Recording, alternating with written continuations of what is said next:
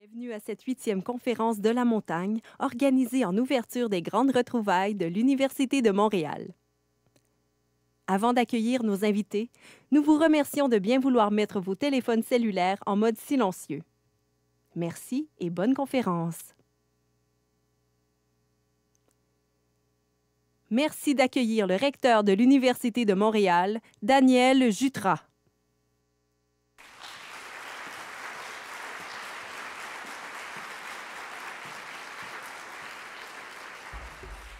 Bonsoir et bienvenue à cette euh, conférence de la montagne. Je salue euh, toutes les personnes dans la salle, je salue aussi les personnes qui nous écoutent à la maison et vous remercier de votre patience. On a commencé avec quelques minutes de retard parce qu'il y a eu une interruption de service dans le métro. On va parler aujourd'hui de l'univers, mais il y a quand même des considérations parfois très terre à terre qui euh, font obstacle à nos activités. À quelques jours de la journée nationale de la vérité et de la réconciliation, je voudrais commencer par reconnaître et saluer les gardiens traditionnels du territoire sur lequel nous nous trouvons. J'exprime mon respect envers les anciens des premiers peuples de ce territoire, ceux du passé, ceux du présent et ceux du futur. Et je souhaite aussi reconnaître la contribution des peuples autochtones à la culture des sociétés autour du monde. La conférence de ce soir inaugure les grandes retrouvailles de l'Université de Montréal, une première, cinq jours de festivités et de rencontres présentées avec le soutien de TD Assurance et du Devoir, partenaires médias. C'est tout naturellement qu'on a souhaité commencer ces retrouvailles par une conférence de la montagne. Ces conférences sont toujours une occasion de formidables rencontres entre le public et des scientifiques de renommée internationale, et ce sera vrai aussi ce soir. Les conférences sont aussi une manière de rappeler que l'Université de Montréal et à l'Université de Montréal, tout ce qui se déroule contribue à la mission de l'université qui est de servir le bien commun. Cette université, c'est votre université. Merci de votre présence. Aujourd'hui, nous vous amènerons dans les coulisses de l'une des plus formidables aventures scientifiques auxquelles ait participé l'Université de Montréal dans son histoire, le développement du télescope James Webb. Si ce télescope fait œuvre utile, c'est en bonne partie grâce à l'Université de Montréal et son Institut de recherche sur les exoplanètes, l'IREX. Nous avons l'honneur d'avoir avec nous ce soir le directeur de cet institut, le professeur René Doyon, et ses collègues Julie Lavacek-Larondeau et Nathalie Ouellette. La renommée de l'Université de Montréal en astrophysique est rien de moins qu'exceptionnelle. C'est une source de grande fierté d'ailleurs pour nous tous. C'est une réputation qui s'est établie au fil des ans par l'ascension de scientifiques de haut niveau qui ont eu un enthousiasme contagieux. On pense notamment à des gens comme Hubert Reeves, que vous connaissez bien, et qui a éveillé tant de conscience. Nos scientifiques de l'Université de Montréal ont forgé un noyau d'expertise qui continue de graviter dans les plus hautes sphères de la connaissance. Partenaires de longue date de l'Agence spatiale canadienne et par extension de la NASA, les chercheurs et chercheuses de l'Université de Montréal ne cessent de contribuer à repousser les frontières de l'univers connu. Nous en sommes fiers, bien sûr, mais au-delà du petit velours sur l'orgueil que ça nous fait, la contribution au savoir humain et rien de moins qu'extraordinaire. Évidemment, vous êtes là ce soir parce que pour vous, comme pour moi, sans doute, l'exploration de l'univers soulève des questions scientifiques complexes que l'on veut mieux comprendre et aussi des questions existentielles qui donnent un peu le vertige aux humains que nous sommes. Ce regard vers l'infini, c'est aussi un regard sur notre planète et aussi un regard sur nous-mêmes. Chaque fois que nous comprenons un peu mieux notre univers, nous comprenons un peu mieux ce que nous sommes et nous comprenons un peu mieux toute la beauté fragile de notre planète. Je demanderai maintenant à nos trois conférenciers de venir sur scène, le professeur René Doyon, Mme Nathalie Ouellette et la professeure Julie Lavacek-Larondeau. Je vous souhaite.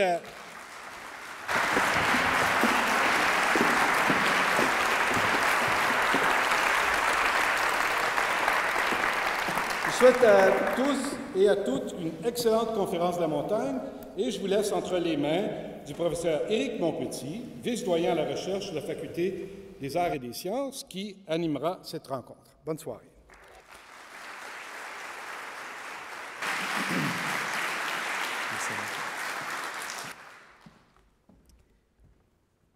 Lancé le 25 décembre 2021 à bord d'une fusée Ariane à partir de la Guyane française, le télescope spatial James Webb est arrivé un mois plus tard à sa destination à environ 1,5 million de kilomètres de la Terre.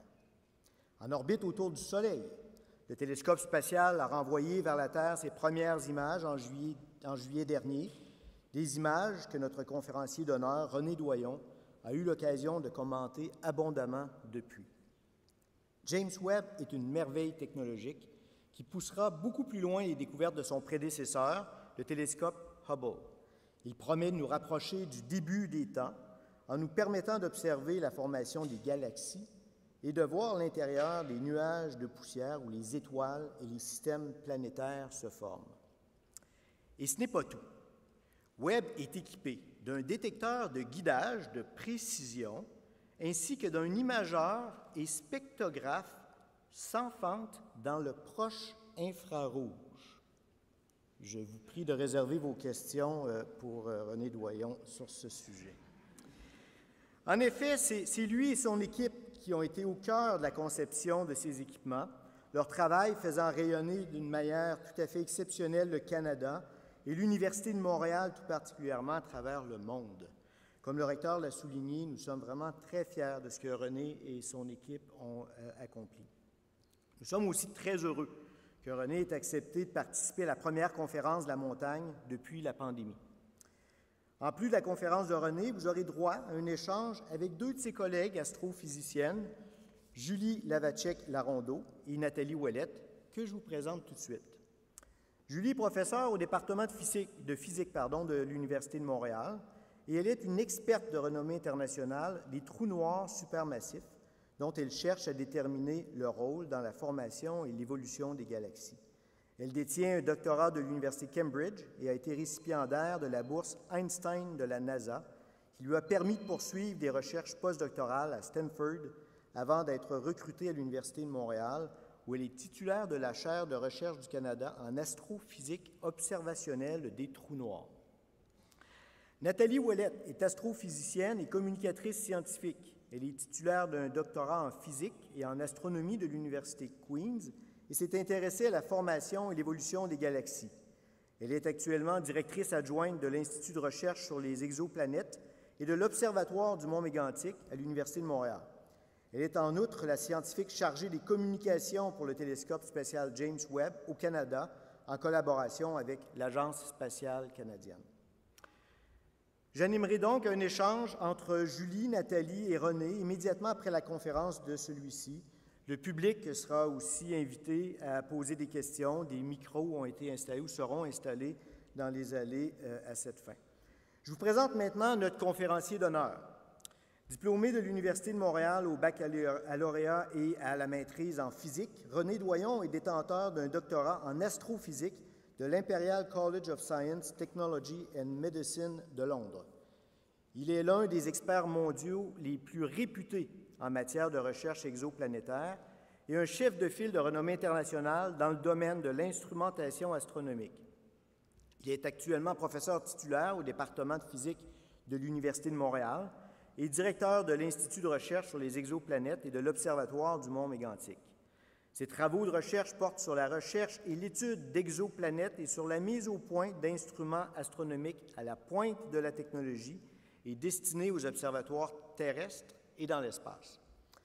René Doyon a reçu de nombreuses distinctions, dont la bourse de recherche Kilam en 2018, le prix de l'ACFAS Urgel Archambault pour les sciences physiques, mathématiques, informatiques et génie en 2017 la médaille d'honneur de l'Assemblée nationale du Québec en 2011, ainsi que le prix de l'Association américaine pour l'avancement des sciences et le prix John C. Poliani du Conseil de recherche en sciences naturelles et en génie du Canada en 2009.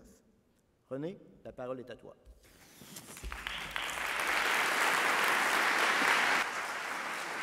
Merci, mon petit. Euh, quel plaisir de vous voir aussi nombreux ici et surtout de vous voir collés ensemble. Hein vivement le, cette ère post-pandémique. Alors, c'était vraiment un réel plaisir de vous parler de James Webb. J'ai fait tellement de conférences dans ma, carrière sur James Webb, c'était toujours sur ce qu'allait être James Webb.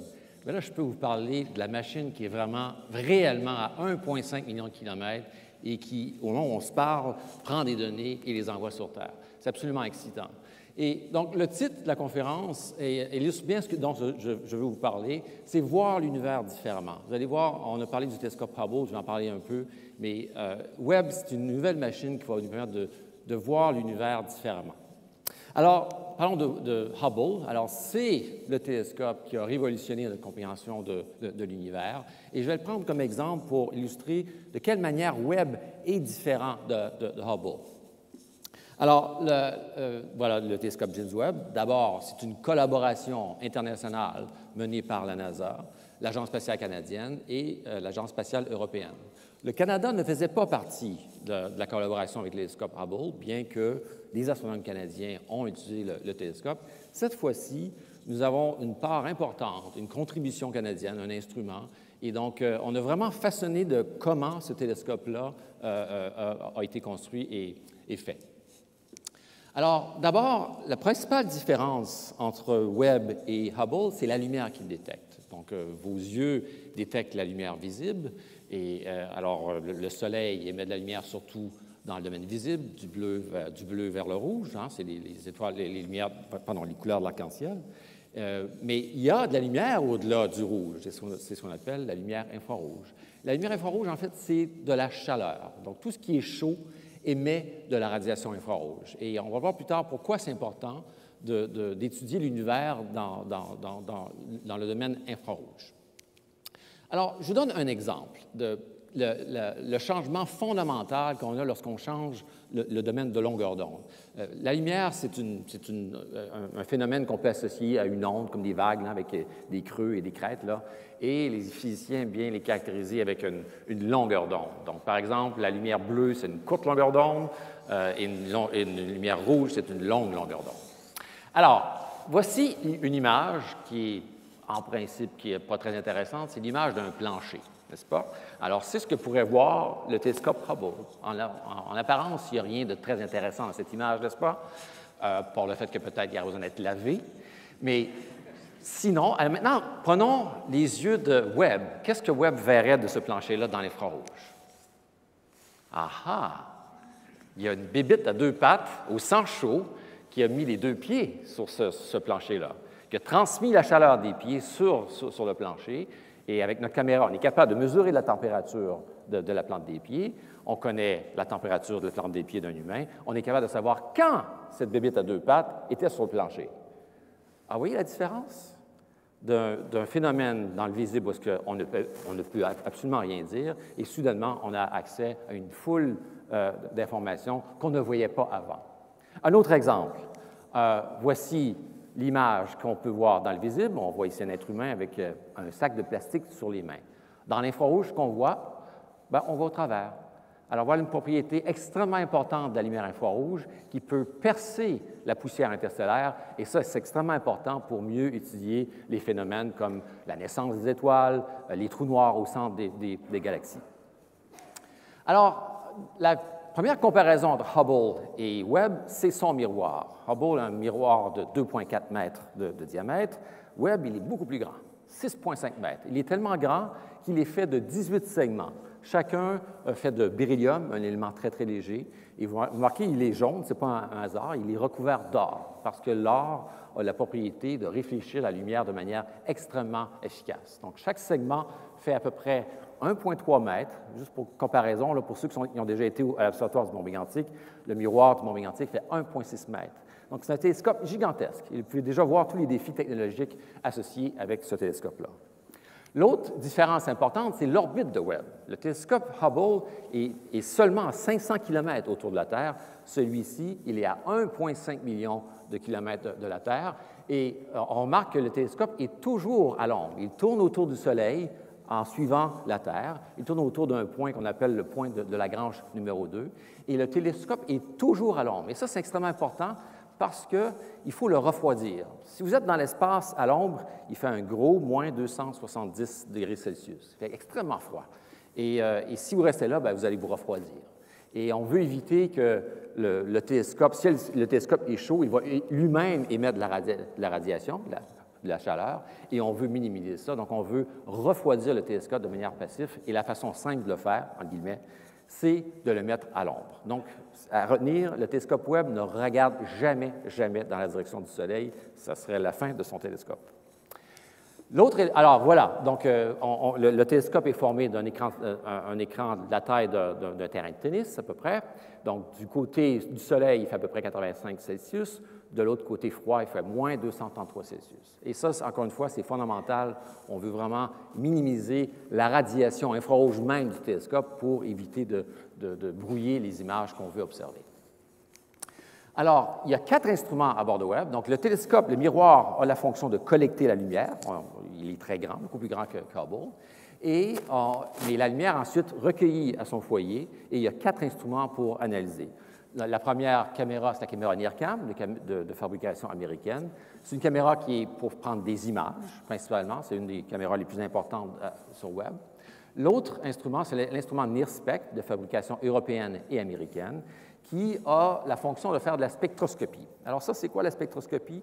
C'est, euh, les astronomes aiment bien disperser la lumière. Comme, comme l'arc-en-ciel que j'ai montré tout à l'heure, on aime bien décomposer la lumière en ces différentes couleurs. Et si on étire encore plus, si on disperse la lumière, on voit des bandes d'absorption qui nous donnent de l'information sur la composition chimique des, objets, voire même sur la, vitesse des objets. Donc, les astronomes aiment bien les images, mais on aime aussi beaucoup prendre des spectres. Et c'est d'ailleurs à peu près le quart de toutes les observations, en fait plus que ça, 35 des observations dans la première année de Webb sont des observations spectroscopiques. Donc ça, c'est la machine à faire de la spectroscopie.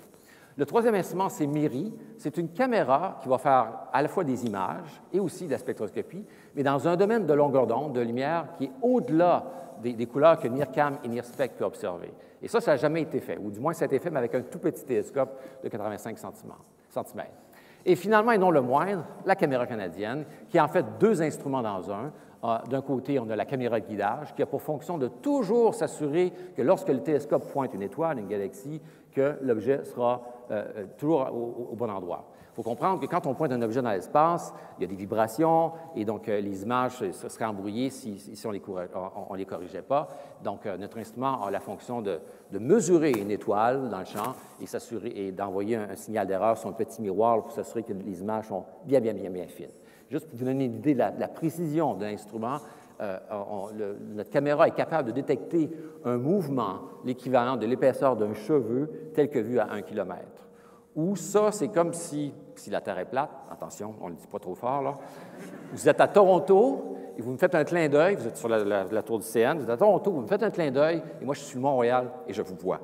C'est avec cette précision-là qu'on doit euh, euh, prendre les images avec Webb. Donc, toutes les images, toutes les observations que vous allez voir avec James Webb dans le futur ont été guidées par la caméra de guidage canadienne. Et de l'autre côté, c'est le, je ne suis pas capable de le dire en français, c'est le, Near Infrared Imager and, Spectrograph, ou l'imageur et spectrographe dans le prochain Foire Rouge. Oui, merci Nathalie.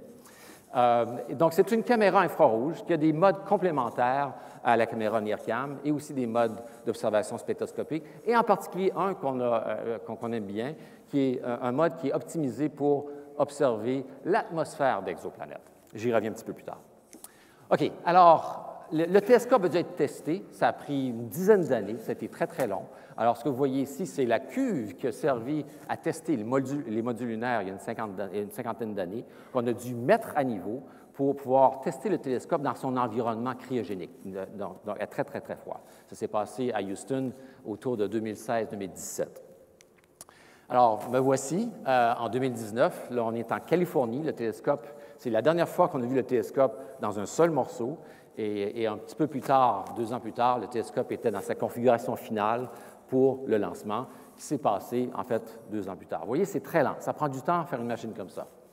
Alors, finalement, le dernier voyage vers la Guyane française, de la, Californie. Et finalement, le jour de Noël, j'aurai le privilège d'être sur place pour être témoin du, du lancement. Donc, euh, ça, c'était moi le matin. Euh, je me suis levé à, 5 heures du matin. Et voyez, je, je, montre pour vous montrer la, badge. Alors, Toucan, ça, c'est le site de lancement le plus près euh, du, lancement. Évidemment, il n'y a personne proche de, la fusée, mais on était à 5 km pour voir ce, ce lancement. Alors, je vous montre qu'est-ce qui s'est passé de ce que vous avez peut-être vu, vous, dans, à la télé. 30 seconds and counting. Et un fait à noter, donc les derniers mots qu'on aura dit sur James Webb, sur Terre, étaient en français. Standing by for terminal count. Alors, la Tous de DDO, attention pour les décomptes finales. est ici. 10, 9, 8, 7, 6, Et moi, je suis Cinq, à 5 km avec mon quatre. téléphone cellulaire. 3, 2, unité, top. And we have engine start. And liftoff. Décollage. Decollage, liftoff from a tropical rainforest to the edge of time itself.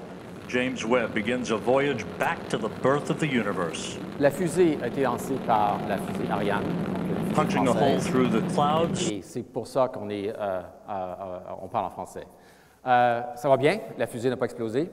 Et 20 minutes plus tard, le télescope doit se détacher de la fusée et ça a été pris euh, par une caméra à bord de la caméra Ariane. Et là, une surprise qu'on n'avait pas prévue, le télescope, on a pu voir les panneaux solaires se déployer.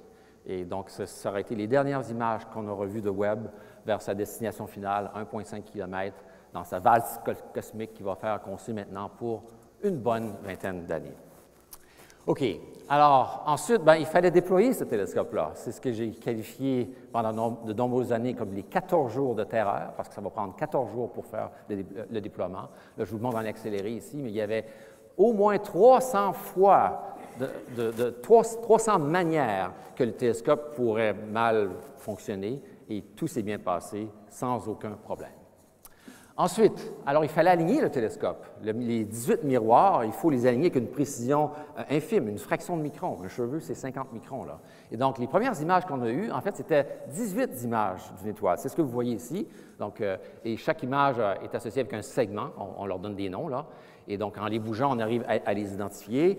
Et finalement, on arrive à les, aligner dans un patron hexagonal. On fait une première mi- mise au point. Et là, finalement, on va ramener tous ces mêmes points dans un seul point et pour avoir finalement, autour du mois de février, la première image finale bien alignée du, télescope. Et la première chose qu'on a vue, nous, derrière, c'est c'est pas une galaxie. Même des petites temps pauses de- de- de- d'une dizaine de secondes, on ne voyait que, que des galaxies. C'était déjà un prélude de ce qu'on allait voir avec Webb. Et alors, ce que vous voyez ici maintenant, ce sont les images, la mise au point de tous les quatre instruments. Chaque instrument voit sa portion du ciel.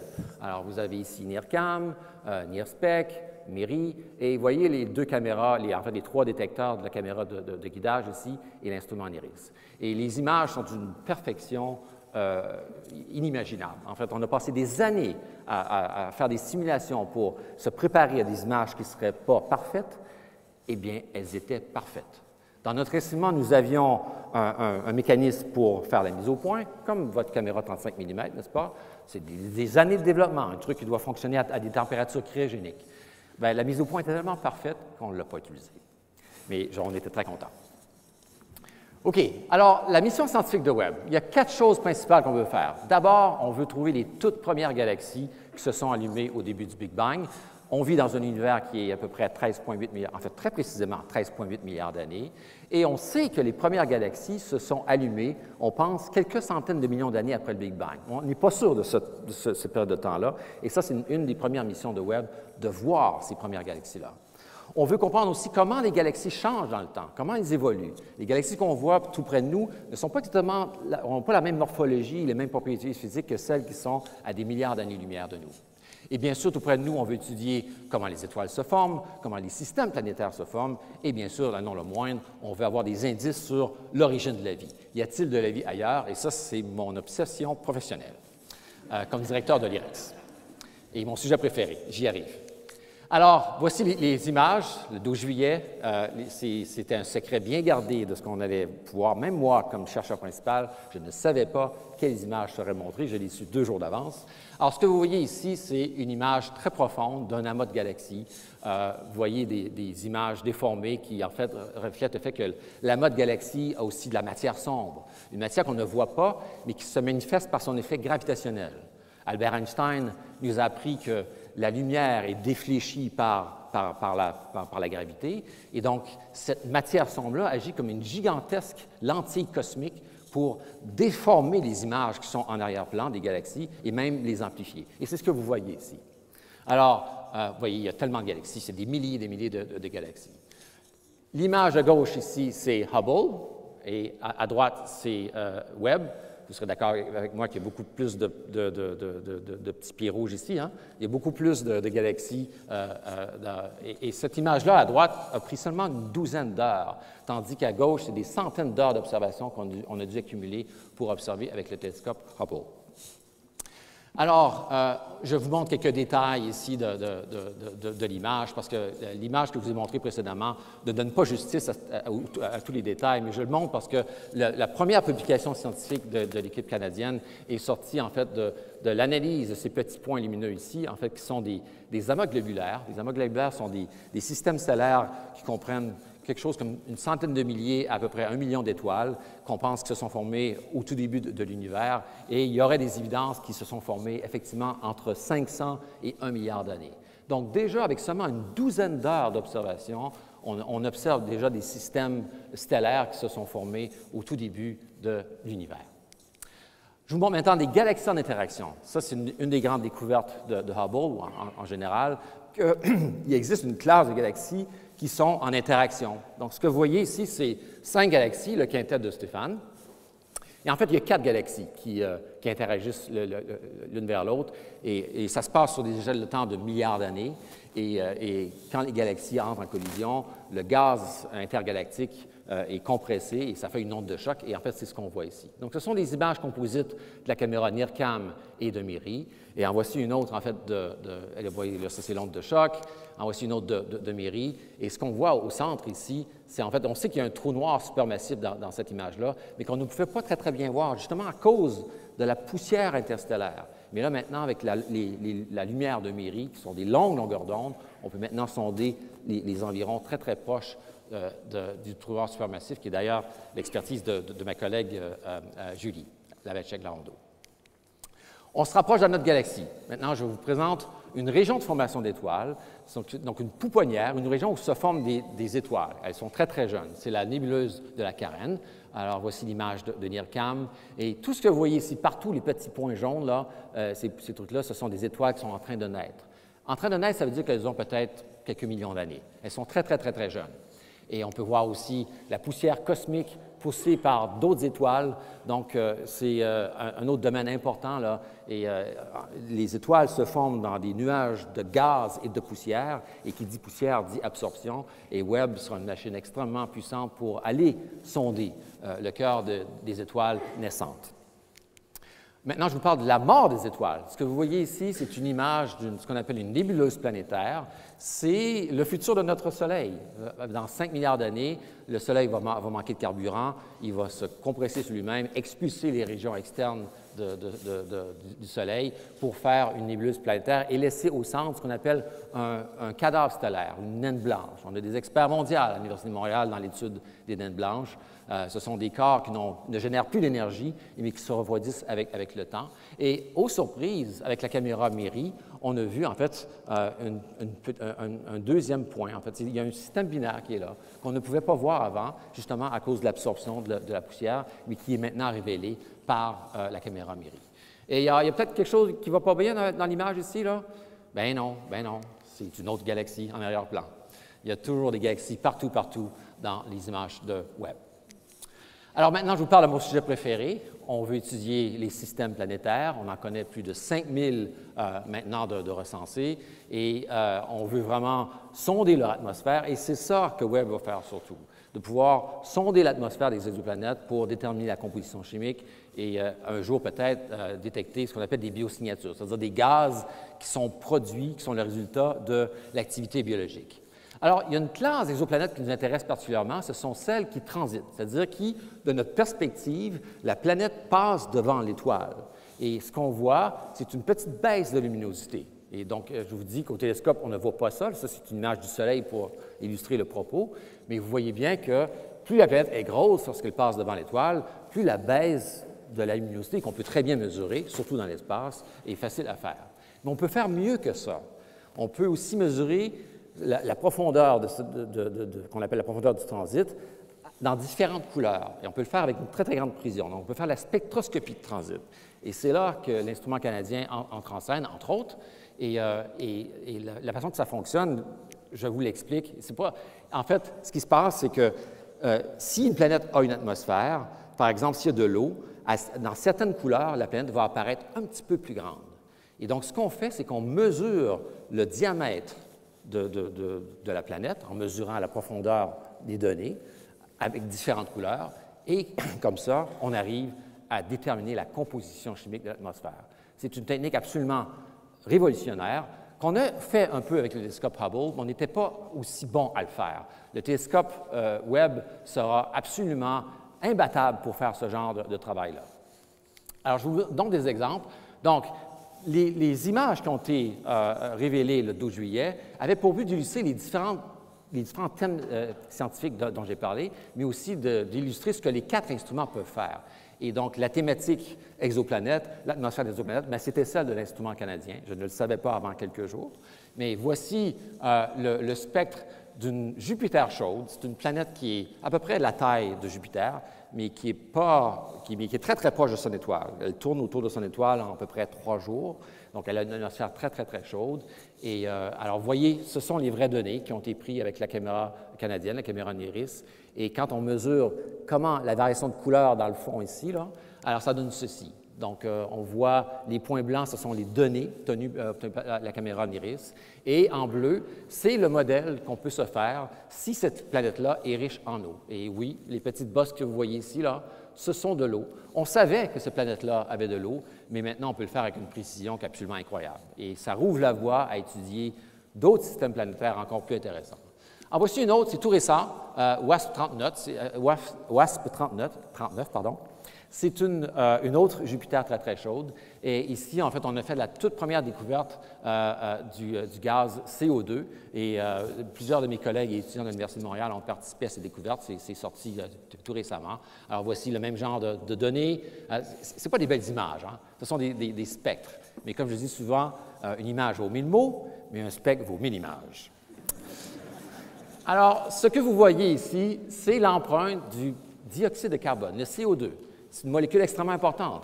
On, avait fait la prédiction qu'on devait, pouvoir voir cette molécule-là dans cette, euh, euh, euh, planète, mais on ne l'avait pas vue encore. Et ça s'est fait très facilement.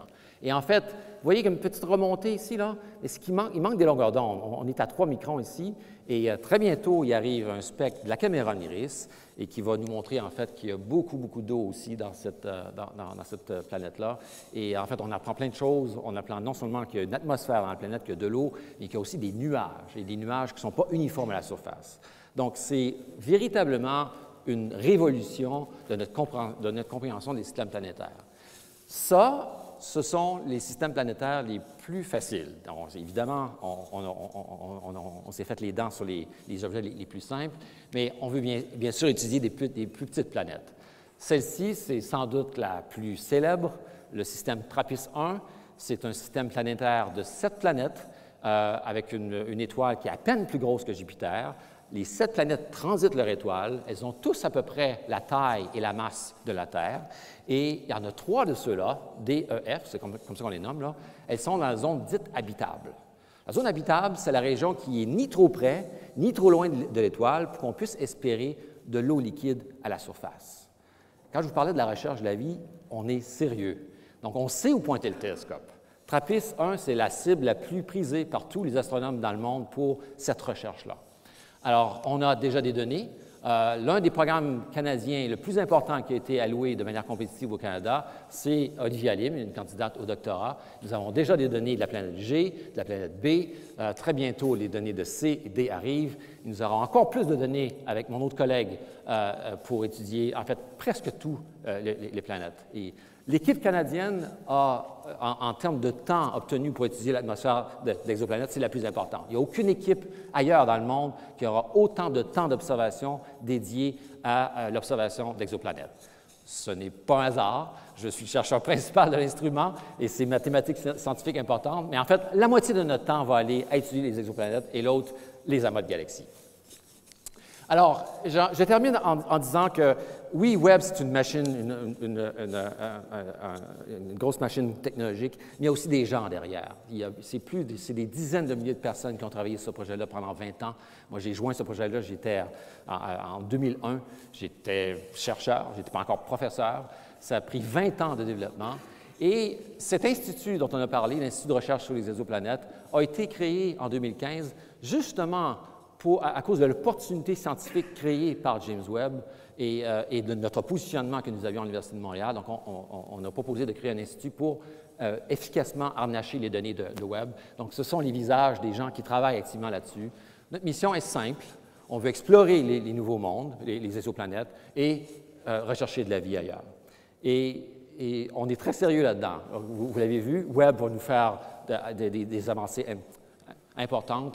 Et en fait, on est vraiment, vraiment au tout début de cette grande aventure scientifique. Sur ce, je vous remercie.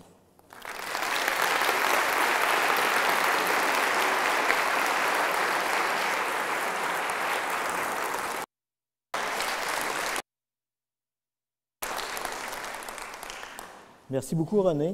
C'était fascinant. Tu nous as, je pense, très, très bien fait comprendre euh, les avancées scientifiques que, que permettent James Webb? Euh, tu nous as très bien fait comprendre ce qui te fascine, toi, qu'est-ce qui, euh, qu'est-ce qui est nouveau euh, par rapport à ce qu'on pouvait voir avant avec Hubble? J'aimerais aussi entendre Nathalie et Julie sur le sujet.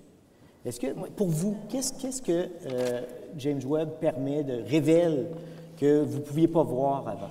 Je pense que de mon côté, ce qui m'a tellement marqué, euh, ça a vraiment été l'image de Deep Field, donc l'image qu'on a vue au début de la présentation, qui montre euh, l'amas de galaxies avec plein, plein, plein, plein, plein de galaxies. Euh, ça, je me rappelle que, en tant qu'astronome, euh, je savais que James Webb allait être meilleur que Hubble. Je savais que l'image allait être vraiment plus précise, plus détaillée. Mais je pense que mon cerveau n'avait pas encore enregistré à quel point. Euh, et donc, quand j'ai vu la première image, c'était absolument saisissant parce que c'est la, quantité de détails et surtout le nombre de galaxies. Je pense que j'avais vraiment pas réalisé à quel point il y en aura énormément.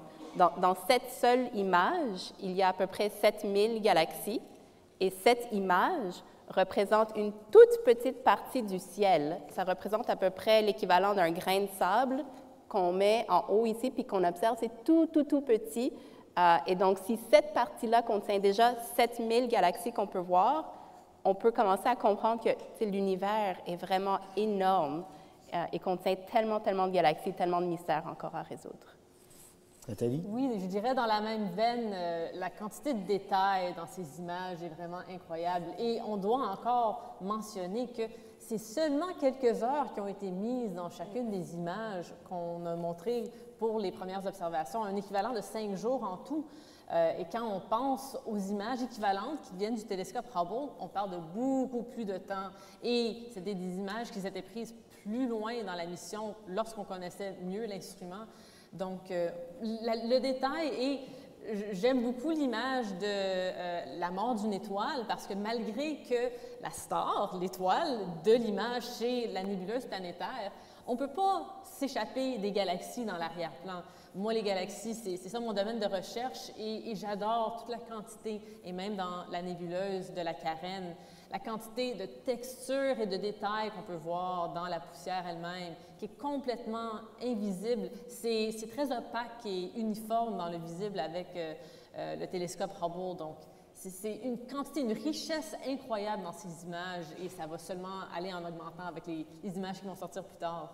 Puis, si- je peux peut-être rajouter un point, euh, je me rappelle que René, lui, il avait vu ces images avant. Euh, donc, lui, il était au courant. Puis je me rappelle quand il passait dans le corridor, avant que ces images soient déval- dé- dé- dévoilées au public, il nous disait les images sont incroyables, les images sont incroyables.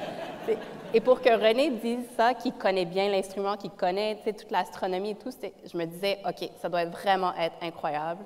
Euh, puis ça m'a vraiment. J'ai- essayé de, de- de l'évoquer. Oui, moi qui travaille sur ce projet depuis 20 ans, je pensais être préparé à ce que j'allais voir, mais non.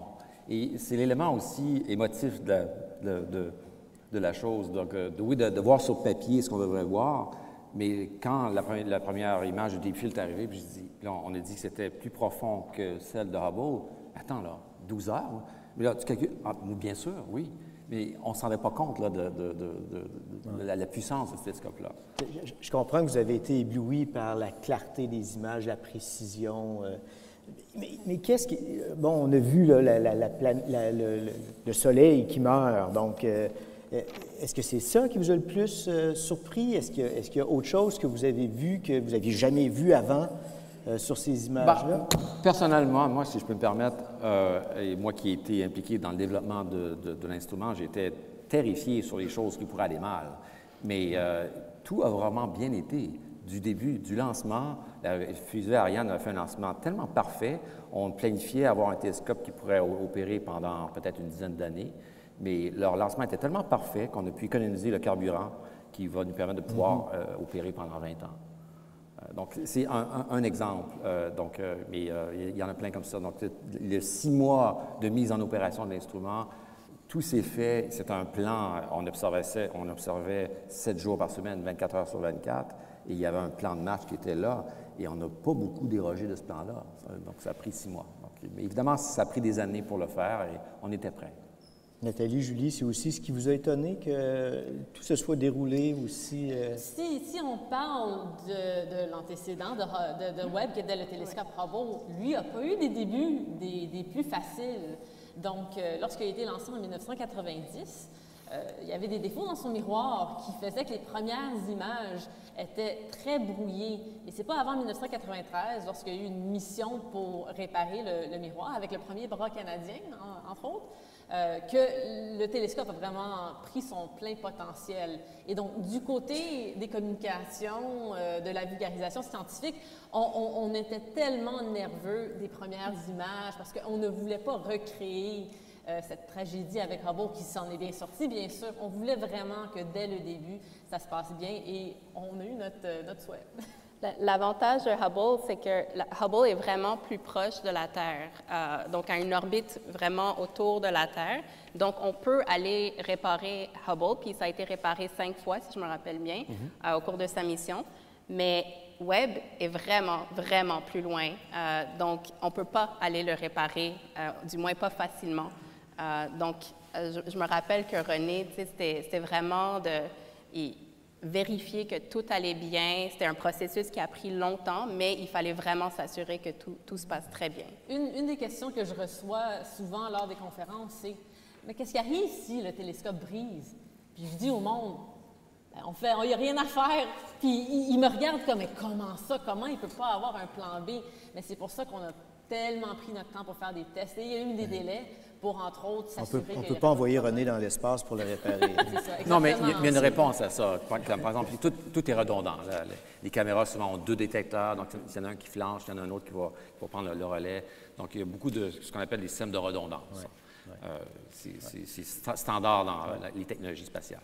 Je, veux revenir sur, euh, puis là, je reviens à mes notes du début pour être certain de ne pas me tromper le, détecteur de guidage de précision, puis l'imageur et spectrographe sans fente dans le proche infrarouge. Ça, je comprends c'est les équipements euh, auxquels tu as contribué, euh, conception, fabrication aussi, je crois. J'aimerais que tu nous racontes un petit peu l'histoire de ça. Je présume que ce n'est pas quelqu'un de la NASA qui appelle euh, René Doyon puis qui dit Est-ce que tu aimerais. Euh... Bien, ça commence un peu comme ça. Ah bon En fait, Vas-y. en fait c'est un téléphone, un coup de téléphone de, ma collègue Marsha Rickey, qui est la chercheure principale de la caméra NIRCam, qui, en 2001, et à l'époque, il n'y a pas d'instrument canadien. Il y a le système de guidage qui est là, mais on n'a pas d'instrument canadien. Mais nous, les Canadiens, on poussait pour avoir notre instrument. Et euh, donc, on devait, en fait, fournir un élément de la caméra de NIRCam et à l'époque, le télescope, c'était un 8 mètres, c'est pas 6,5 mètres. Mais un an, après, là, on se rend compte que ça coûte trop cher, et là, les, Américains se rendent compte que ça va être trop compliqué, les interactions avec le Canada, donc on, a sorti l'élément canadien de la caméra. Et bien, ce problème-là est devenu notre, opportunité. On dit, bien, OK, pourquoi on ne le met pas dans le dos de FGS pour faire notre instrument? Mais ce n'était pas la caméra que je vous ai présentée ici, c'était autre chose. Et un instrument qui était, bon, qui avait beaucoup d'intérêt, mais qui a eu des problèmes. Euh, les tests qu'on faisait, euh, on n'arrivait pas. Quand on faisait des tests de vibration, de choc, il faut survivre 20 minutes, hein, le lancement. Et ça, c'était très difficile. Donc, vers la fin des années 2000, euh, autour de 2010, on a décidé de reconfigurer l'instrument, un instrument qui serait plus simple, mais finalement plus puissant que ce que nous avions fait. Et ça, c'est la leçon que la science nous apprend que les choses changent beaucoup. hein. En 2001, quand j'ai joint le projet, c'était un an après la toute première découverte d'une exoplanète qui transite. On ne planifiait pas faire étudier l'atmosphère des exoplanètes avec Webb. Euh, alors, ça a évolué beaucoup. Donc, été un chemin, disons, assez chaotique, euh, mais au final, on y est arrivé. Julie, Nathalie, vous êtes des collègues de René, vous l'avez vu pendant toutes ces années, vous avez été témoin, vous avez peut-être même participé un peu euh, à- à la production de ces équipements. De- mon côté, euh, moi, je me spécialise vraiment plus sur les trous noirs. euh, et donc, de, mon côté, je n'avais pas participé directement, mais il y a plusieurs observations qui s'en viennent, euh, qui vont être vraiment e- extrêmement intéressants pour les trous noirs. Donc, juste pour vous donner peut-être un petit contexte ici, c'est quoi un trou noir? Pourquoi on s'intéresse à ces objets? Donc, un trou noir, l'exemple classique qu'on prend, c'est qu'il faut que ce soit un objet qui est très, très massif, mais aussi très compressé. L'exemple classique qu'on donne, c'est qu'il faut prendre, par exemple, le Soleil, qui est vraiment une, énorme boule de gaz, puis il, faut essayer de la compresser en une région d'à peu près 3 km. Ça, c'est peut-être un peu difficile à comprendre, parce qu'on ne réalise pas à quel point le Soleil est énorme. Euh, donc, je vais, vous donner un autre exemple qui est vraiment, euh, qui met en contexte la, situation. Prenons par exemple le Mont-Royal. Donc, le Mont-Royal, notre montagne en arrière de nous ici, euh, il faudrait prendre tout, tout le Mont-Royal et le compresser en une région qui est à peu près la taille d'un proton. OK? C'est minuscule un proton, c'est une fraction d'un atome. Ça, c'est un trou noir. euh, et on sait que ces objets existent maintenant. On a des preuves qu'ils existent. Euh, et les plus mystérieux, ce sont les trous noirs supermassifs, qui sont vraiment des énormes trous noirs qui font des millions et des milliards de fois la masse du Soleil. Webb va vraiment euh, nous aider à comprendre en particulier d'où viennent ces objets, comment ils se construisent, comment ils arrivent à être aussi massifs que ça, parce qu'on sait qu'ils vont être probablement dans les premières galaxies. Euh, et donc, ça va être vraiment de comprendre cet aspect. Donc, ça, c'est un aspect qu'on s'intéresse beaucoup. Donc, je suis un peu plus jeune que René, je ne sais pas si vous avez remarqué. Donc, euh, j'ai pas eu la chance de, développer euh, l'instrument canadien, mais je me, souviens lorsque je faisais ma maîtrise, mon doctorat, des années 2013-2014, c'est pas seulement l'instrument canadien qui a eu un parcours un peu difficile. Le télescope en général euh, a presque été annulé plusieurs fois et il y a eu un moment dans les années 2013-2014 où le projet a presque été cancellé par le gouvernement américain. Il y avait des rumeurs qui couraient qu'on allait vendre ses composantes aux Chinois ou plein, plein de désastres, euh, des scénarios de désastres. Et finalement, euh, on s'en est sorti euh, à cause de plusieurs acteurs importants dans la politique américaine, entre autres. Et, je me souviens d'avoir dit Oh, ouais, OK, c'est bon, le télescope a fonctionné. Je me demande si un jour je vais avoir la chance, la chance de l'utiliser. Et en 2018, j'ai eu la chance de joindre l'équipe de René pour travailler du côté de la vulgarisation scientifique. Et, maintenant, quand je pense, quand je regardais de l'extérieur, ce télescope qui me semblait monolithique, euh, tellement, tellement incroyable, vraiment euh, une révolution dans notre domaine, de faire partie de l'équipe, d'être collègue avec quelqu'un qui a été sur l'équipe internationale de Web, qui était un, un- un meneur dans l'équipe depuis des décennies, je trouve ça un privilège incroyable. Avant de passer aux questions du public, j'aimerais vous poser une question. Euh, je- bon, vous le savez, je suis professeur de sciences politiques, le public ne le sait peut-être pas. Donc, j'aimerais vous poser une question politique. Euh, James Webb, ça a coûté 10 milliards de dollars à peu près? À peu près. Euh, certaines personnes pourraient dire c'est beaucoup d'argent, c'est des fonds publics. Est-ce que c'est un bon investissement? Est-ce qu'on n'aurait pas pu mettre ça dans des programmes sociaux, la lutte à la pauvreté, dans euh, le développement de technologies qui peuvent être utilisées immédiatement ici sur Terre? Comment vous répondez à quelqu'un qui a- pose une question C'est une ça? très bonne question et euh, il y a plusieurs éléments de réponse à ça. Mais la, la- la première, c'est de c'est qu'on on- on perd aussi un peu de vue ce, que, ce, que, ce que vaut 10 milliards de dollars. Il faut mettre 10 milliards de dollars sur 20 ans, euh, trois grandes économies, les Américains, c'est pas beaucoup. Là. Ça vous coûte chacun, un payeur de taxes, 25 sous par année pour avoir eu James Webb. Mais c'est pas la bonne réponse. La, vraie réponse, c'est que, et quand on pose la question, c'est qu'implicitement, c'est que ça sert à rien, ça. Et c'est ça l'erreur. Au contraire, c'est essentiel. Euh, euh, bon, vous avez tous un téléphone cellulaire dans vos poches, hein? Et, euh, vous prenez pour acquis que vous, pouvez prendre des, des images. Mais il y a une petite puce dans votre cell- cellulaire qui fait ça. Et elle n'est pas tombée du ciel, cette puce-là. Elle a été inventée dans le milieu des années 70 euh, par des physiciens qui voulaient faire en fait des visiophones. Mais en fait, ce sont les astronomes qui ont vu ah, le potentiel de cette nouvelle technologie-là.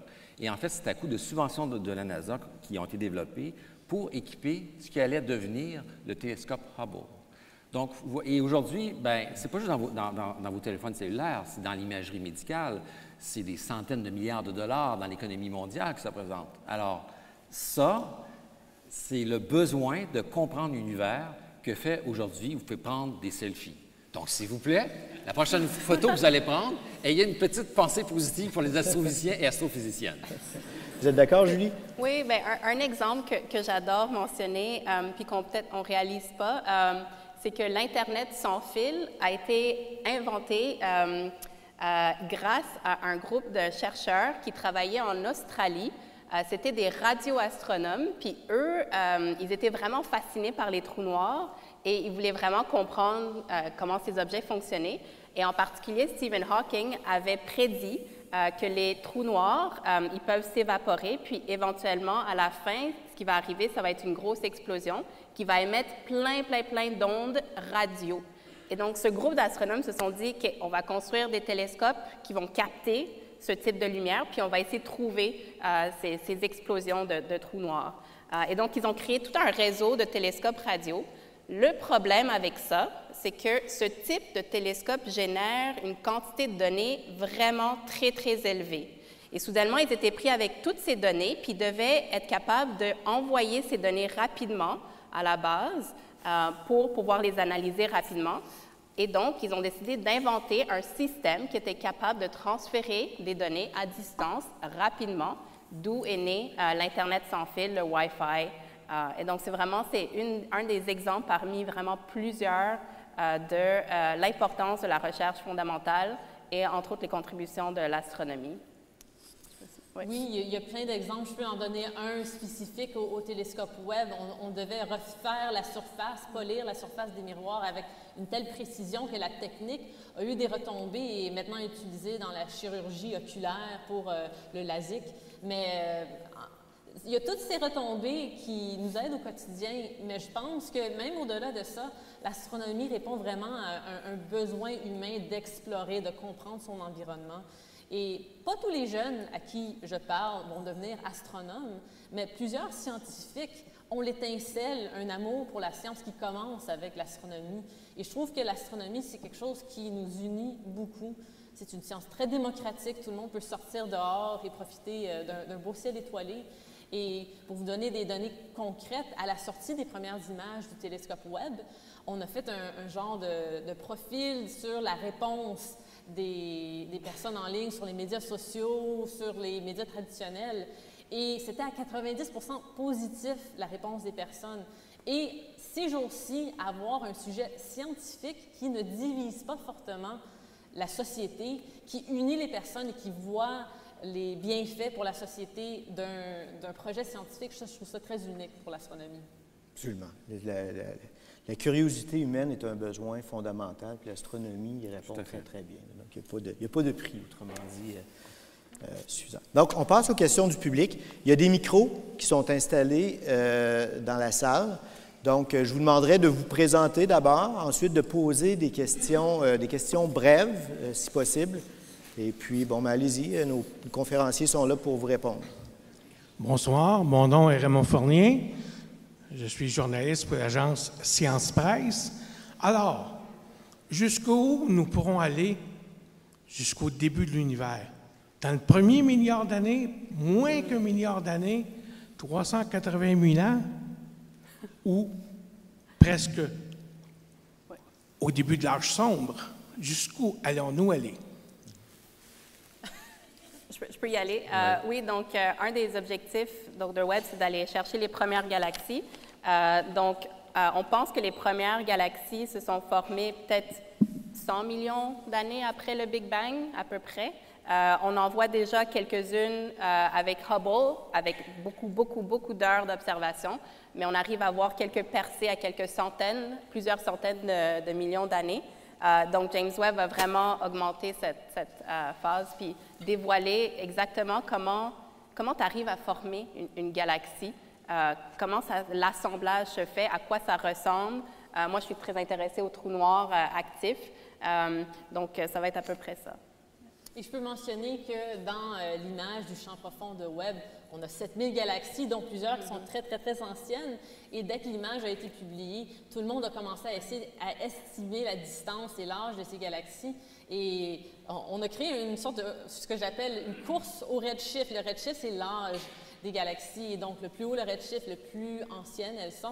Et on aurait peut-être déjà brisé les records de Hubble, mais c'est des résultats qui doivent encore être vérifiés euh, euh, avant d'être publiés. Donc, euh, ça va être dans les prochains, prochains mois qu'on va voir. Puis c'est une fraction du temps, hein, que c'est vraiment une, une petite observation de web, déjà, ça, ça permet de, de briser les records. Juste ajouter qu'en fait, cette thématique scientifique-là est tellement importante que les quatre instruments scientifiques euh, sont conçus de manière complémentaire pour étudier ces, euh, ces- ces- ces- ces- ces galaxies lointaines-là. Monsieur. Euh, Éric Pain. Euh, je sais qu'en général, quand vous faites une demande de- pour des recherches, vous avez six mois à un an pour euh, traiter les données. Mais pour TRAPPIST, j'ai entendu que c'est déjà euh, accès public. Alors, ça doit être en train de, doit être en train de se passer quelque chose. Là. Vous êtes très- plus? Vous êtes très bien informé. Mais pour, le- le- pour les autres, alors, la façon que, dont le temps est alloué, bon, il il est alloué de manière compétitive. Euh, dans notre cas, on a eu du temps garanti parce qu'on a fourni l'instrument. Et normalement, on a 12 mois donc, pour analyser les données et les publier, après quoi elles deviennent publiques. Euh, mais pour, euh, en fait, on est démocratique, on veut donner la chance à tout le monde d'utiliser le télescope. Il y a eu 500 heures de temps qui ont été euh, données, en fait, dans des programmes scientifiques pour exercer les quatre instruments et les, différents thèmes scientifiques. Et il n'y a aucune, a- aucune protection sur ces données-là. Le programme auquel vous faites référence, c'est justement celui d'Olivia Lim, euh, qui a eu 53 heures de temps pour étudier le, système trappiste. Et c'est nous qui avons délibérément choisi de laisser les données à toute la communauté. Euh, il faut faire attention de se faire trop prétentieux, dire c'est nous qui, av- qui avons la bonne réponse. Euh, mais euh, voilà. Mais oui, bien sûr, il y, a, une chance, il y a le danger qu'on pourrait se faire scooper, entre guillemets. Mais je voudrais, je voudrais vous dire que présentement, ça fait quelques mois qu'on le fait, là, et j'aime beaucoup le, le travail d'équipe à l'échelle int- internationale qui se fait. Je ne sens pas qu'on va se faire scooper. Il y a un certain respect que ce sont ces équipes-là qui ont eu le, le temps. Et, euh, mais bien sûr, euh, a- c'est pas impossible que euh, d'autres pourraient analyser les données. Mais j'aime croire qu'on a un avantage aussi parce qu'on connaît bien l'instrument qui, l'a- qui, qui a fait les, les observations. Olivia travaille très fort ces jours-ci. Elle n'est pas seule, il y a une bonne dizaine de personnes qui travaillent là-dessus présentement. Donc, on attend ça dans les prochains... Semaine, mois. D'ici Noël. Bonjour. Oui, monsieur. Euh, ma question, ce serait plutôt pour Monsieur René Doyen. Euh, comment votre étude des lumières infrarouges était venue les projets du plus grand télescope du monde? Est-ce que tu peux répéter la question au début? Comment pour l'infrarouge? Co- comment ton étude? De la lumière infrarouge était venue les projets James Webb? Comment est est venu euh, l'infrarouge et James Webb? Comment est l'infrarouge? C'est une très, très bonne question. Euh, L'astronomie infrarouge n'existe pas depuis toujours. En fait, euh, au Canada, elle est née, en fait, au Mont Mégantic, euh, vers la fin des années 80. Euh, et euh, et moi-même, qui ai étudié là-dedans, j'ai fait ma maîtrise là-dessus. Mais les experts dans le monde, c'était à Londres. Et c'est pour ça que je suis allé faire mon doctorat à Londres pour étudier l'astronomie infrarouge. Mais euh, au Canada, c'est vraiment dans le dôme du Mont Mégantic que l'astronomie infrarouge est, née. Et elle, s'est développée ensuite de manière, comme on dit, avec des coefficients exponentiels. Donc, ça, il, y a eu, beaucoup de, développement. Et elle s'est développée beaucoup, beaucoup avec James Webb. Parce que pour faire cette machine-là, il a fallu développer beaucoup de technologies, notamment les capteurs qui détectent la lumière infrarouge, qui sont ben, les meilleurs au monde. si, si, je peux peut-être rajouter, euh, ce qui est vraiment genre magique de l'infrarouge, puis ce que René a mentionné, puis je pense Nathalie aussi, c'est que ça traverse la poussière vraiment bien. Euh, normalement, la lumière, ce qui arrive, c'est que lorsqu'elle rencontre la poussière, elle, va être absorbée par la poussière. Et donc, elle va jamais pouvoir se rendre à, à notre télescope. L'infrarouge passe à travers ça. Et euh, notre univers est très, très poussiéreux. Euh, toutes les galaxies, pas mal, ont de la poussière, donc ça bloque une bonne quantité de la lumière. Euh, les nébuleuses planétaires, où, les étoiles se forment, tout ça, c'est rempli de poussière.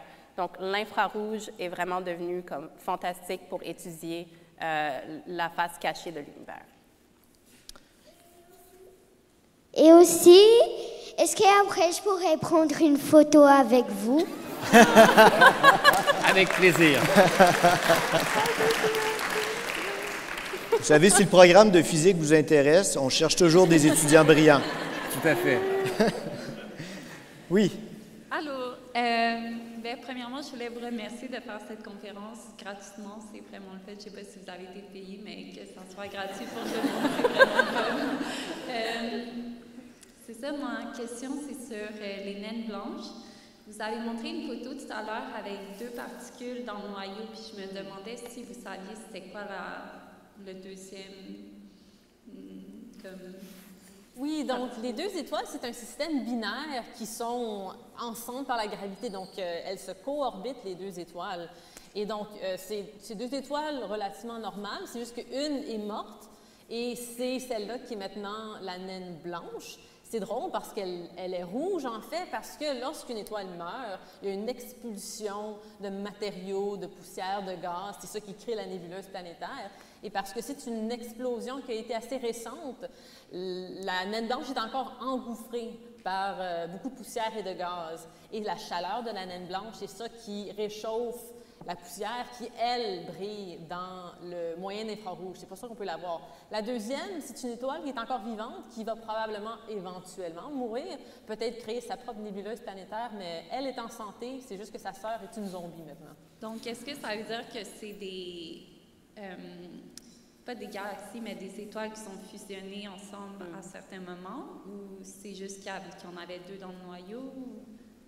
Donc, ça peut, ça peut arriver que des étoiles soient nées en groupe, dans des, des, amas globulaires, par exemple, ou en plus petits groupes. Des fois, il peut y avoir des passages entre étoiles aussi, où euh, les étoiles se rencontrent assez prochement pour pouvoir euh, devenir codépendantes. Donc, il y a des mécanismes différents qui peuvent arriver. OK. C'est comme des âmes sœurs d'étoiles. Oui, c'est des âmes sœurs, mais une est morte, c'est triste. une était plus vieille que l'autre. Oui, c'est ça. Monsieur? Sylvain Duguay, euh, Société d'astronomie du Saguenay. Tout d'abord, je voudrais vous féliciter. C'est vraiment incroyable ce qu'on vit actuellement avec euh, James Webb et votre équipe, M. Doyon et toute l'équipe canadienne. Félicitations. C'est vraiment excitant de vivre à cette époque-ci de la, Ma question concerne principalement l'infrarouge. Euh, j'imagine que les détecteurs euh, dans l'infrarouge, ce ne sont sûrement pas des capteurs CMOS comme on a dans les caméras astronomie amateur. Ils sont sûrement pas à base de silicone. Puis les roues à fil, c'est probablement très spécial. Alors, pourriez-vous nous dire quelques phrases un peu comment ça fonctionne, c'est quoi, comment sont constitués, sans trop le détail? Bien, en fait, les, capteurs infrarouges ont une certaine similitude avec les, capteurs optiques. Ce sont essentiellement des, détecteurs bidimensionnels, hein. ce sont des pixels. Euh, les, capteurs optiques sont faits de silicium, euh, tandis que les capteurs infrarouges sont faits d'un matériel, c'est du, cadmure, euh, du cadmium, mercury cadmium tellure, du, mercure, cadmium et tellure. Et, et, ce sont des capteurs très complexes qu'on doit assembler ensemble et qui coûtent très, très, très, très, très cher. Et pour la petite histoire, quand on parlait du parcours chaotique, on a développé ces nouveaux capteurs-là. Et en 2010, ma collègue Marsha Rickey, qui était notre experte des capteurs infrarouges, découvre Oh my God, les détecteurs se dégradent. On découvre que parfois un pixel disparaît parce qu'on les gardait à, la température ambiante. Et quand on a fait les calculs, à l'époque, on lançait en 2018, bien, les détecteurs étaient morts. Donc, vous voyez, et, il a fallu faire une étude, on a trouvé la, cause, donc on a fait une nouvelle batch de, détecteurs. Donc, ce sont des, des capteurs très, très complexes mais qui prennent du temps. Donc, euh, c'était la première fois qu'on les faisait et ben, ça a pris une deuxième itération pour y arriver. Et c'est des capteurs qui doivent fonctionner à température cryogénique. Cryogénique, ça veut dire très, très, très froid, là, euh, à peu près 40 degrés euh, Kelvin, donc moins 233 33 Celsius. Merci, Nathalie. Moins, 29 degrés centigrades, ma caméra a gel complètement à frost. Concernant la roue à filtre, euh, est-ce qu'il y a quelque chose de spécial dans la conception? Vous pouvez nous parler? Oui, alors les, roues à filtre, pour, les gens, c'est un expert aussi. Là. Donc, euh, on, a, on, a, une caméra et euh, pour tantôt faire de l'imagerie ou faire de la spectroscopie, on a un mécanisme dans la caméra qui peut, mettre, pour insérer différents éléments optiques, des filtres, des éléments dispersifs pour faire de, de la spectroscopie. Mais bon, cette roue-là doit fonctionner à température cryogénique. Et euh, donc, on ne peut pas mettre euh, de la graisse à température cryogénique parce qu'elle gèle. Donc, il a fallu développer euh, des, nouvelles façons de lubrifier. c'est des techniques standards, mais qu'il a fallu affiner. Par exemple, on utilise des, lubrifiants secs. Et donc, il y a eu énormément de travail. Tout ce travail-là a été fait dans l'industrie, la, l'industrie, la compagnie Honeywell à Ottawa. C'est eux qui sont les maîtres d'œuvre. Une équipe absolument incroyable. moi, je suis le maître d'œuvre, je suis un expert d'instrumentation. Il y a quelques éléments optiques qui ont été testés ici, au pavillon euh, Roger Gaudry. Donc, euh, je suis toujours fier de penser qu'il y a un morceau là, dans Web qui était ici il n'y a pas longtemps. Euh, mais donc, c'était un travail de longue haleine et de, tester, retester pour se rendre compte, OK, bien, ça ne marche pas, on recommence. le fameux mécanisme que j'ai mentionné qui permettait de faire la mise au point de l'instrument, ce sont des années d'efforts qu'on a testé, retesté, qualifié. Et on ne fait pas juste le tester une fois, on va le tester sur la, durée de vie de, l'instrument. Et euh, ben voilà, ça prend beaucoup de temps. C'est pour ça que ça a pris 20 ans. Bien, encore bravo, puis les résultats sont là, on peut, on peut le constater par les images. Que... Mais c'est un travail d'équipe. Hein? Euh, oui, il y a quatre chercheurs principaux, un par chaque instrument ou deux, là, mais c'est un travail d'équipe. Euh, tout ça ne, peut pas se faire sans ces milliers de personnes qui ont travaillé sur le projet. Félicitations. Euh, bonjour tout le monde, euh, Mohamed euh, Amin El Fouraïsi, étudiant en génie biomédical à, Polytechnique Montréal et président d'Astropoly. J'ai deux questions si vous permettez. D'abord, merci beaucoup pour l'excellente présentation, puis pour le panel, puis merci à l'Université de Montréal pour l'organisation de l'événement. La première question concerne les dernières photos éblouissantes qu'on a vues des planètes du système solaire. On n'a pas commenté par rapport à ça, mais j'aimerais savoir qu'est-ce qui vous a ébloui le plus en regardant ces photos de Jupiter, Saturne, puis les autres planètes aussi. Euh, la plus récente de, Neptune, moi je l'ai vraiment aimée parce que Neptune et Uranus, c'est un peu les, sœurs oubliées du système solaire. Euh, même Pluton, qui n'est plus une planète, mais je l'aime quand même, c'est une planète humaine, elle a eu une sonde New Horizons qui est allée faire un tour, qui a pris des images vraiment fantastiques. Mais Uranus et Neptune avaient seulement des, des flyby, des passages des sondes Voyager. Euh, donc, maintenant, après 30 ans, on a un instrument qui peut commencer à regarder de plus près Uranus et Neptune et ses lunes. Leurs lunes sont très intéressantes aussi.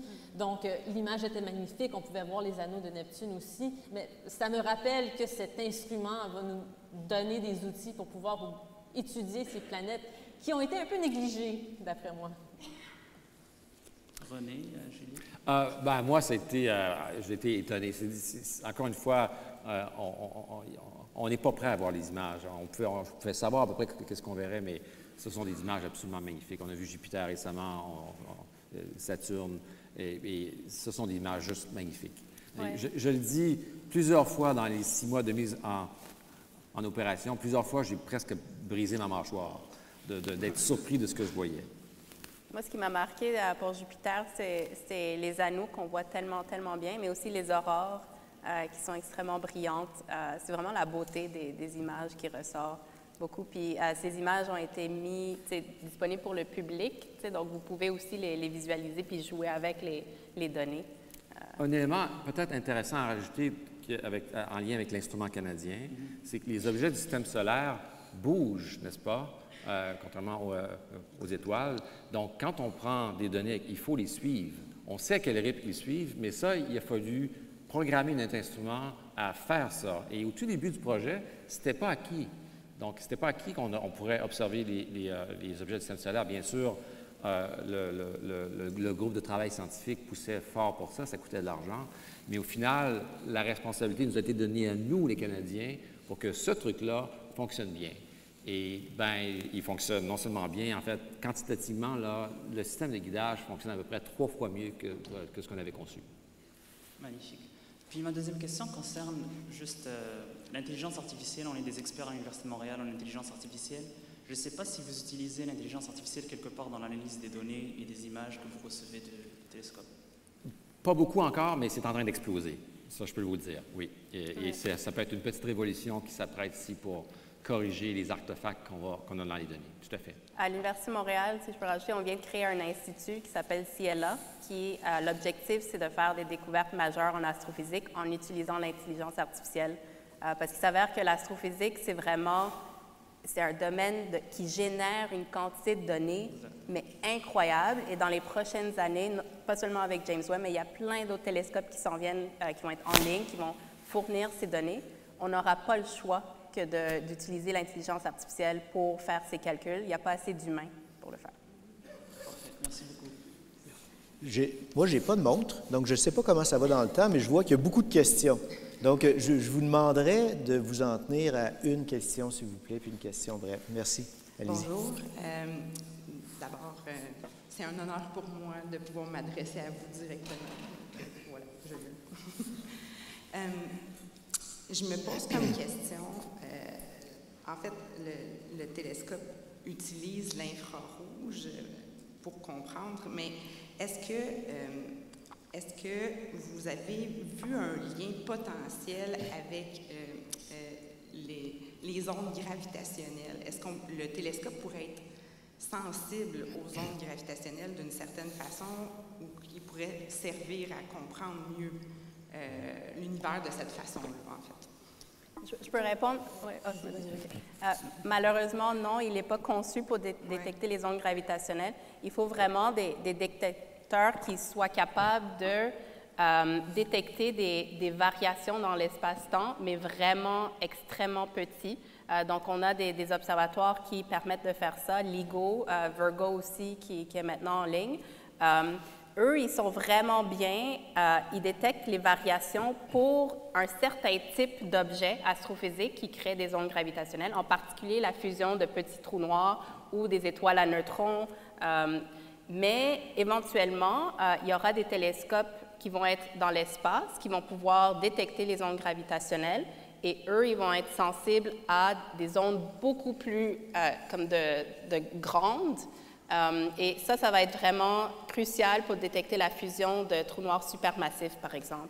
Puis vous allez pouvoir, dans le fond, utiliser les données de différentes ondes pour comprendre mieux les trous noirs, j'imagine. Oui, oui, c'est ça. Les ondes gravitationnelles vont être vraiment détectées avec ce type de télescope spécifiquement. Euh, mais James Webb, euh, Webb va pouvoir euh, étudier, si on trouve, par exemple, la fusion d'étoiles à neutrons, des fois, ça crée une explosion de lumière que Webb pourra détecter. Mhm. Merci Oh, oui, pour, ajouter, on, est dans une ère qu'on appelle l'ère de l'astronomie multimessagère. Et donc, par exemple, euh, les ondes gravitationnelles qui ont été détectées en 2017, lorsqu'il y a eu cette détection, tout, presque tous les télescopes dans l'espace, sur la Terre, se sont braqués pour essayer de trouver la contrepartie dans le visible, dans l'infrarouge, dans l'ultraviolet. Même des détecteurs de particules, de neutrinos, ont essayé de capter des neutrinos de l'explosion. Donc, si ça arrivait encore, Webb se braquerait sur euh, cette observation. Et ce type d'observation prennent priorité typiquement sur toutes les autres observations parce qu'ils savent qu'il euh, faut le faire maintenant parce que c'est passager comme, comme phénomène. Merci Monsieur? Bonjour Cédric, un honneur de vous parler, puis félicitations, hein, c'est assez génial de voir tout ça. Je ne suis pas dans le domaine, mais je m'intéresse beaucoup, puis je me demandais un peu en termes d'image, on remarque que les définitions vont varier en fonction des différents instruments, on en a où, les définitions sont beaucoup plus élevées, tout ça. Puis évidemment, il faut, euh, comme on n'est pas dans le visible, j'imagine que vous devez remapper vers des images qu'on va pouvoir voir, nous, avec nos yeux. Comment, comment ça fonctionne, ça, c'est, euh, cette euh, façon de traiter les données? oui, c'est ça. Donc, c'est, une science et un art, la création de, ces images. Entre autres parce que, comme vous l'avez mentionné, c'est de la lumière invisible à l'œil humain. Donc, souvent, les personnes me demandent, est-ce que c'est des images qui sont des fausses images? Techniquement, oui, mais si je vous montrais l'infrarouge, ça serait pas mal plate parce que vous verrez rien. Donc, euh, typiquement, un, télescope, lui, voit seulement des images en noir et blanc, mais dans plusieurs filtres différents.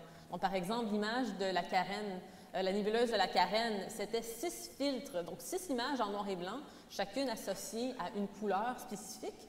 Et donc ensuite, on a des, des, scientifiques et des artistes qui font des choix, des choix pour essayer de mettre en valeur certains aspects scientifiques, certains aspects artistiques aussi, pour vraiment montrer euh, la pleine beauté et la pleine, le plein potentiel scientifique de l'image.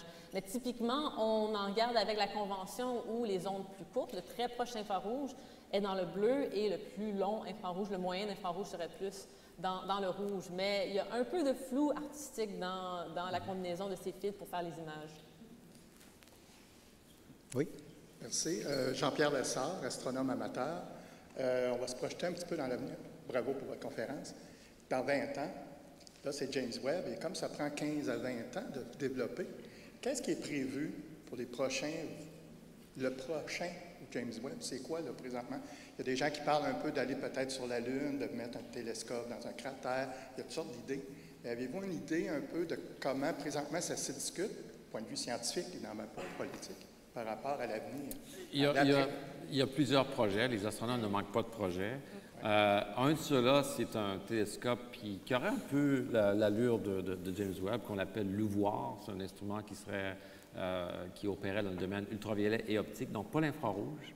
Euh, un télescope peut-être de 8 à 12 mètres, donc plus, plus grand encore, mais avec une mission scientifique vraiment ciblée, celle de la recherche de la vie. Donc, un télescope qui serait capable de, de, prendre des images d'exoplanètes et d'analyser l'atmosphère pour pouvoir détecter euh, des, biosignatures. Les biosignatures, ce sont les, gaz que produit l'activité biologique.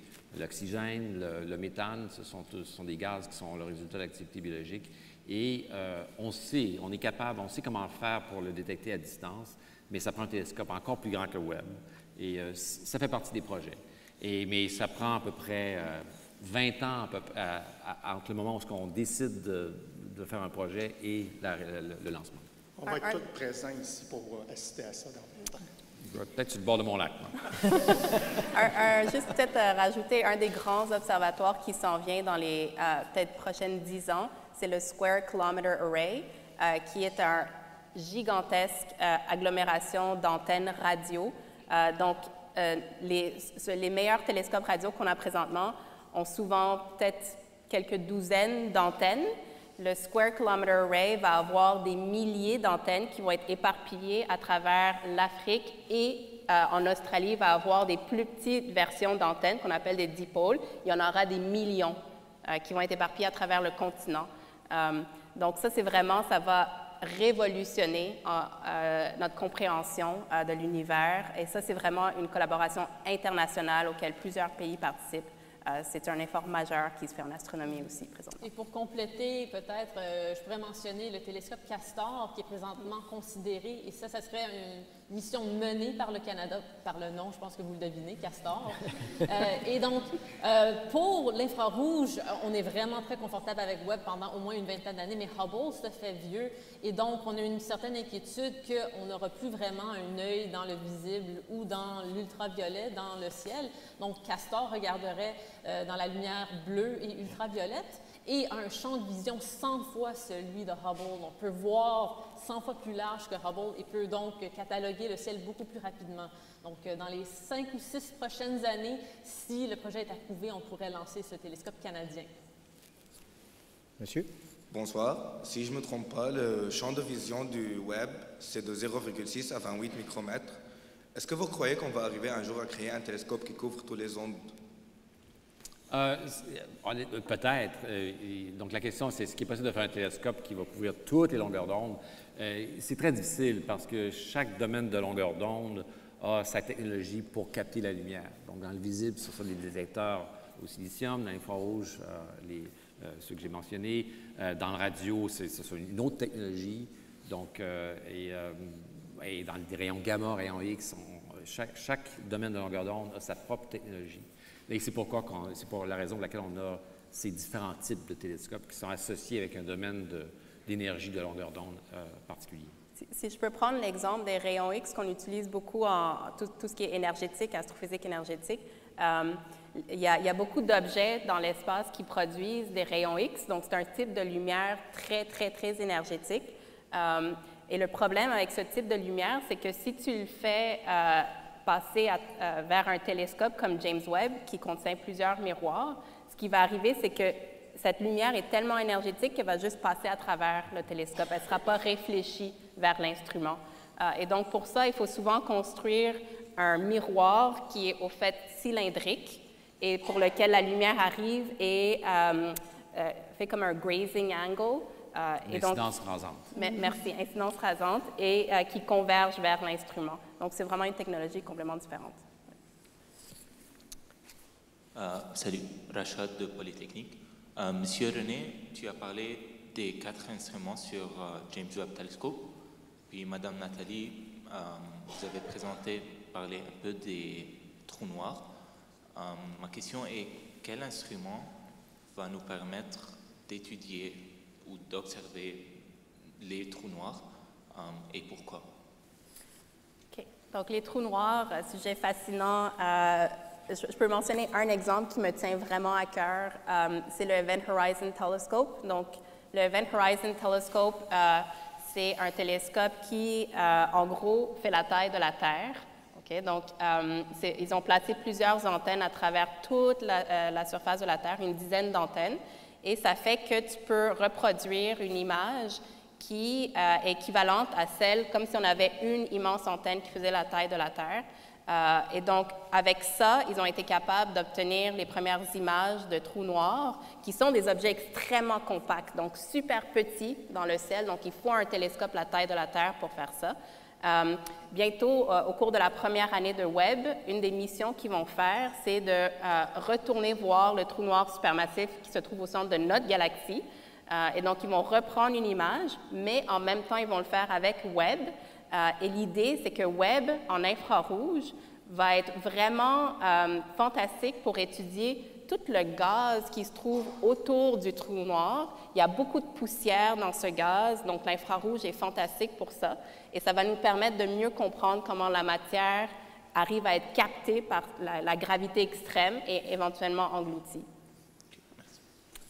On va prendre deux dernières questions, donc les, deux questions de ce côté-ci. Bonjour, merci à vous tous. Euh, moi, ma question était pour euh, Nathalie.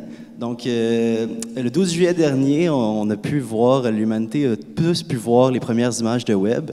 Puis, Nathalie, vous étiez supposée présenter les, les images de ben, le spectre, en fait, qui avait été pris par l'instrument canadien. Puis, vous avez été coupé au dernier moment, vraiment malheureusement. Je voulais savoir ce qui s'était passé, puis l'histoire de votre point de vue. Puis, qu'est-ce que vous étiez censé dire qu'on n'a pas pu entendre? On peut capter des galaxies à 13 milliards d'années-lumière, mais un signal à 500 km, euh, c'est trop difficile de Baltimore. Euh, donc, euh, pour ceux d'entre vous qui ont vu la diffusion en direct des images, les images sont fantastiques, mais la diffusion avait quelques pépins techniques. Le but était de se déplacer d'un site à l'autre parce que c'est une collaboration internationale.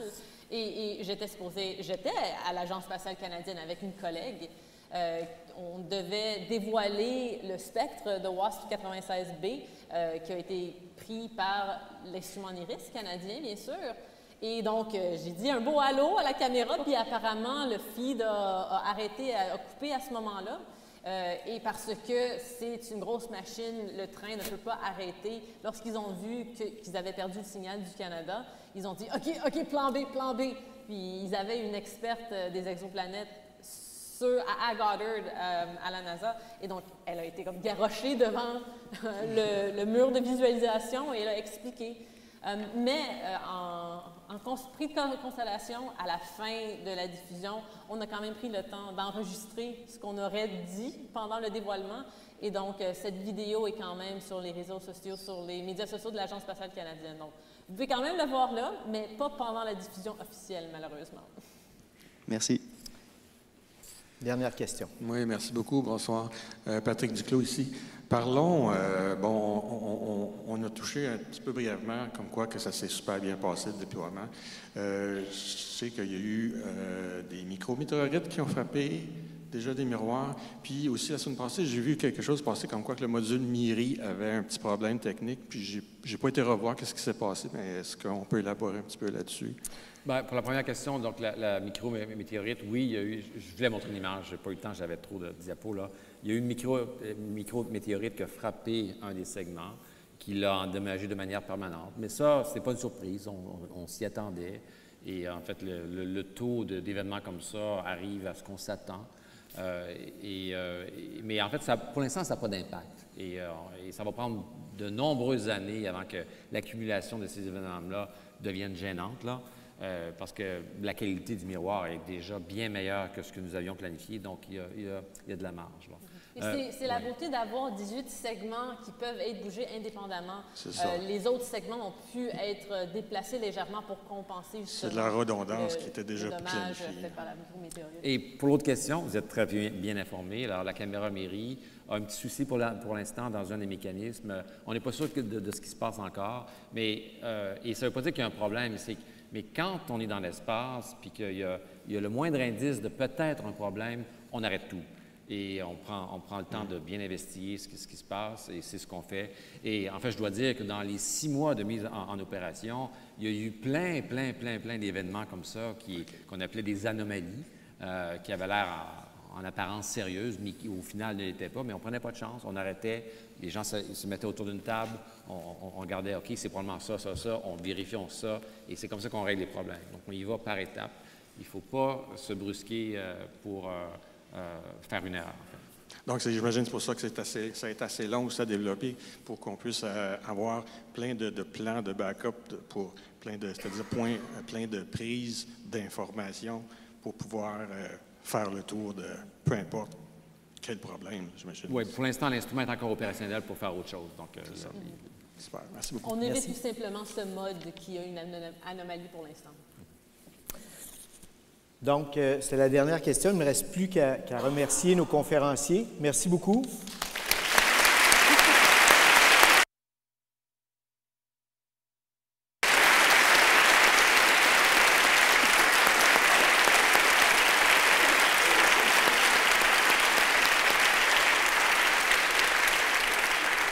Puis, je veux, aussi vous remercier, le public, de vous être déplacé en aussi grand nombre. Merci d'être là. Merci pour votre curiosité. Merci aux gens en ligne. Il y a apparemment plusieurs personnes qui sont en ligne qui ont suivi la conférence. Donc, merci aussi d'être là. Puis, euh, je dis un dernier mot pour euh, simplement vous inviter à participer en grand nombre aux grandes retrouvailles, euh, dont notamment la journée festive de samedi qui aura lieu au campus 1000 et qui se conclura par le concert de Pierre Lapointe qui sera accompagné par l'Orchestre de l'Université de Montréal. C'est évidemment un, concert gratuit et puis ben, on vous y attend en grand nombre. Donc, merci beaucoup. Bonne soirée.